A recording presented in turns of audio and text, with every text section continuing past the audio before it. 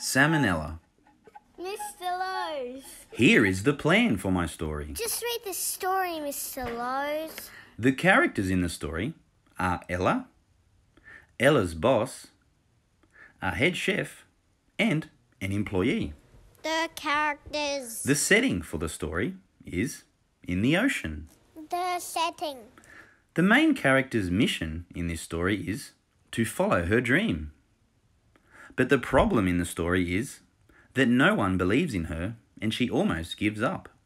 The problem. The resolution to the story is her dreams come true. The happy ending. Here is my dedication. For those who dare to dream, you can do it. Oh, just read the story, Mr. Lowes. Ella was a girl. She wasn't a fella. A girl with a dream. She wanted to be Stella. Whenever she checked her scales, fins didn't weigh up. She tried doing what others did, and she tried lifting her head up. But even though she could swim, among the other fish, she didn't fit in.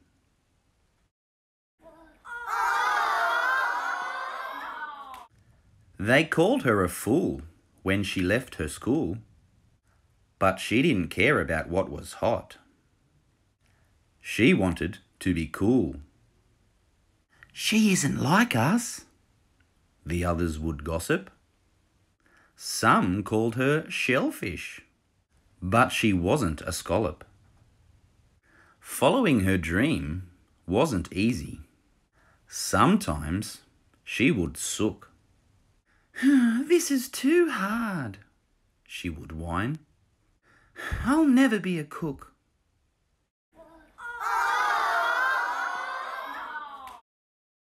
Then, one day, she had a small break. Because she was desperate, she took whatever she could take.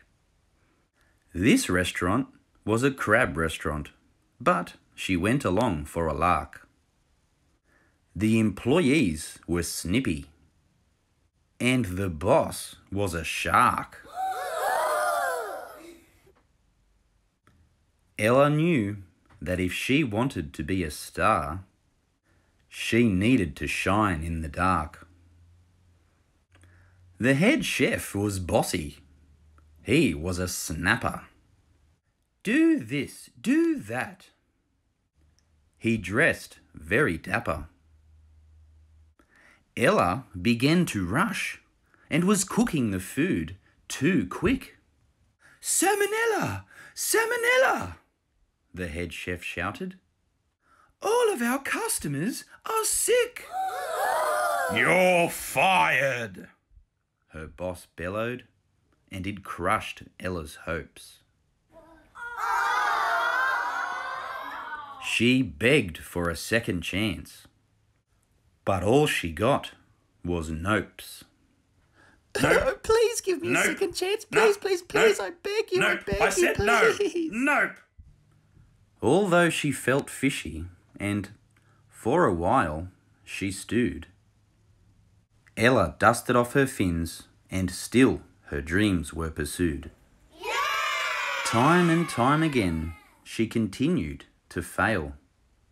But she just kept on swimming. She kept swishing her tail.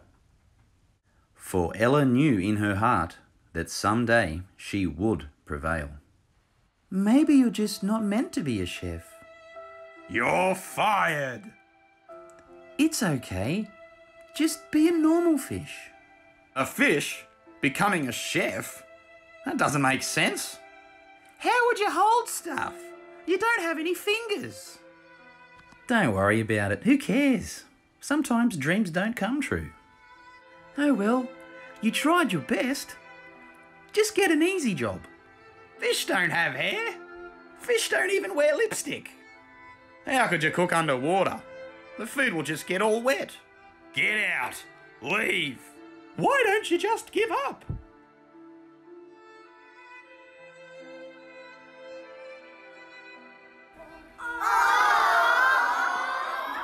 In life, as we know, there are always ups and downs. She swam high, she swam low. She visited all sorts of new towns. She met blowfish. She met toadfish. She even met clowns. Some faces greeted her with smiles, and some with frowns. Where are you from? They would ask. To which she replied, Long story.